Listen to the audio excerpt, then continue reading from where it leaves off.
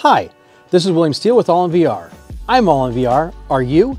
Now today we're going to talk about pretty much what is considered to be the quintessential device to pair with your Nreal light or Nreal Air glasses. I have the light, which is the full AR device. I'm not going to get the Air because of I already have the light and I spent more money on that.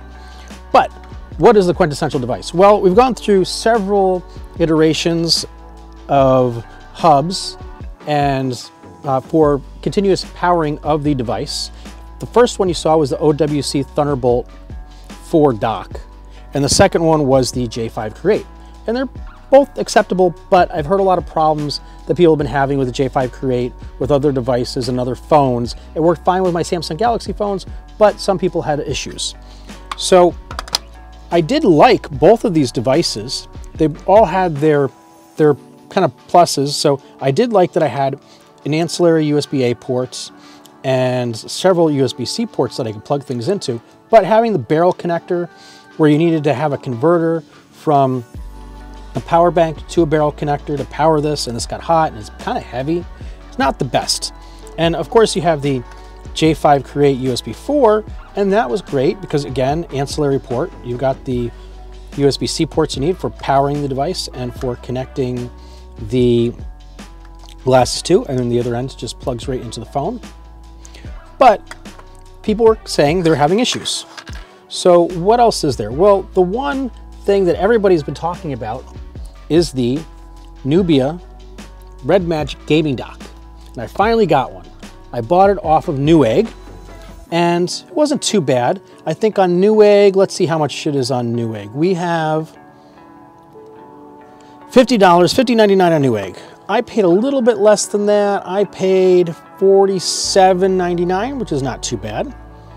And we could get it on AliExpress for 30 bucks, but I didn't really want to spend 30 Well, actually, I didn't mind spending $30. I didn't want to wait for it. I'm, I'm kind of impatient. I'm a very impatient person. But what's funny is if you go to the Red Magic site, you don't even see it on their site anymore. So I don't really know where they're getting stock because of these don't seem to be showing up to actually directly order from uh, Red Magic or Nubia or whoever the company is. So let's uh, just do a quick unboxing of our device. So we have the Red Magic Gaming Dock. It comes in a little box. It's not too heavy. And I think we've got a little, yeah, we got to take this little piece of plastic off. So, yep. All right, so that little seal I'll just put that out of the way for now. And you just pull it out. There we go. All right. So much, much different than something like even this. It's, it's smaller considerably. And let's pull it out here. And it seems to come with a few things. Well, it doesn't come with much. It just comes with this. And I guess this, I'm assuming, is a sticky pad that goes on like this. And I guess that's just to cushion it when it goes in the phone, I guess. So, eh, that's fine, whatever. I probably won't use that for now. Let's take this twisty tie off. And there you go, very simple. Uh, we've got our ports here. We've got one that says, oh, one for power you can tell, right? So one is for power and then the other is for connectivity. So there we go. So the question is, how is this going to work? Let me take the plastic off. I know some of you guys love to leave your plastic on, but I'm going to keep this. I'm not sending it back. So there we go. Simple. It would be nice if there were more devices like this. I'm really curious what's inside it. Really have no idea what's inside it, but that would be really cool to know what we have inside this device. So we're going to now go and connect these to our glasses. So Let's go back to our regular camera here and let's get our glasses out. And my first question I, I really wanna know is, does this, will this connect by itself? So we wanna find that out, right? So we wanna find out if this is gonna connect by itself. So I need my phone. I'm actually using my phone right now to record, which is kind of a problem. So we're gonna just, while I'm doing this, we're gonna take that phone out of here and we're going to get out of this app, okay? And I need to plug it in. So let's plug in the Red Magic Pro or sorry, not Red Magic, the Red Ma Nubia Red Magic dock. Oh, I see. So when it's in here, it's a little bit wobbly. So that's probably why they want you to put that on there because otherwise it just wiggles and wobbles, which can't be good for your port. So let's just really quickly take this and put it on then, this little rubber piece. Alrighty. Easy enough, right? All right, well, it's on. That was easy. All right, and now I imagine it'll sit here a little bit nicer. All right, there we go. Yeah, that's a little better. A little more snug. I like that.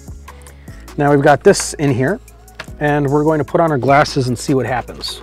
So let me get my glasses, put these on, take the covers off so I can see through. And let's see, do we need any power? That's the first question, right? So I'm just gonna plug these in and see if anything happens. So let's see if anything happens. And something should have happened by now. So nothing is in fact happening. So that would tell me that we probably need power. So let's get some power for this. And I've got some right here, some USB-C power. And let's try plugging it in, see what happens. Okay, I plugged it in. We've got charging, and that's all I've got. It's just charging, nothing else. So let's try unplugging my glasses and plugging them back in. Okay, we'll plug those back in. Oh, there we go, connected to external display. There goes AR space coming back up. Okay, and I can go AR space, and it appears to be loading. Okay, I'm hearing the audio. That's cool. Okay, and it works. Very simply, just works. And that's what I hear about this, it just works. So this might be the best bet, and for the price, it's not bad, especially since you can get it now. Um, that's what I would do. I wouldn't mess with any of this other stuff, the other ones that I've got. I would just get these glasses, but yeah, that's actually working which is great. Now, my question is, one of the things that annoys me is sometimes when I put my Bluetooth headphones on, as you can see here, is I need to actually turn my, I need to pair my Bluetooth headphones or, or turn them on after the AR space starts up. Otherwise, I don't get the audio through them. And I use the AR space probably more than I just use the regular, um, the regular like desktop mode or DeX or, or, you know, or whatever they call it, where you just mirror the screen. So I'm curious if I plug in headphones, will that automatically pass through the audio? So let me get my headphones, which are right over here, I believe. I have a pair of wired with a 2.5 millimeter plug. Okay. Let's plug these in and see if we get audio through here. Come on. Ugh, the only problem is with all these wires, you get you get a rat's nest of wires. Okay, so now let's see, do I have my audio for this thing going through here? Oh yeah, all right, it's already going through my headphones. Now the question is if I turn this on, if I plug it in after, so let's plug it in after and see if I still have my audio. That's what I'm curious. Or will Nreal steal the audio again? Let's see if it works the same. Okay, Got that plugged in. And, oh, allow Nebula to access USB audio. Okay, that's interesting. So it's saying allow Nebula to access USB audio. So it's a prompt asking me that. I know it's hard to see from this direction, but I was using this phone to record, which was a mistake. I should have used my other phone. But okay, I said yes to USB audio. So let's see if that automatically works here. AR space.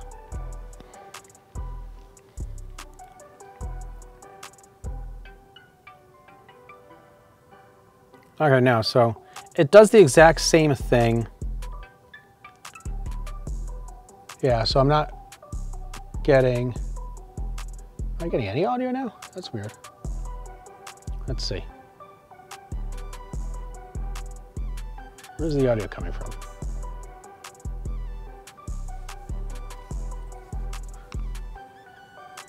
Oh yeah, it's it's coming from the headphones. So you gotta, you, whatever it is, even with the wired headphones, I still need to unplug and plug it back in, right? So there we go. Now the audio should come through the headphones, right? Yeah, so once you unplug it and plug it back in, all right. Okay, so I've had enough playing with that, so that's good. Okay. All right, so that's not so bad. So it works, it's simple. It's definitely simpler or more simple than the other devices. I kind of like that. And we are going to, uh, pretty much end this now, I think. But as you can see, that all, that all works. I mean, you can see a big difference between these. And Nubia Red Magic gaming dock, J5 Create, and this. But the big difference also is like you can see like this is this is definitely the heaviest, most chunky device. This is a little bit less. And this is obviously the lightest, most simple to use device. So I would definitely recommend this. It's cheaper than all of these too, but it wasn't available. I would have had to order it and wait potentially a month, which I guess isn't that big of a deal. But I, I generally don't order a lot of things off of AliExpress. So there you go. Whoops.